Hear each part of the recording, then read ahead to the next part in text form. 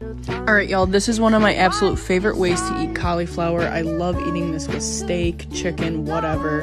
It's kind of like a play on mashed potatoes, but we're using cauliflower.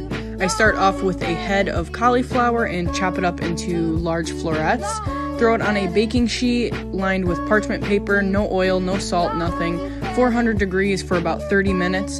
Throw it in a food processor or blender. I just had to make a little bit of room. And add a couple ounces of cream cheese, a couple tablespoons of butter, a splash of heavy cream, and season it how you like. I do garlic powder, salt, and pepper. I keep it pretty simple.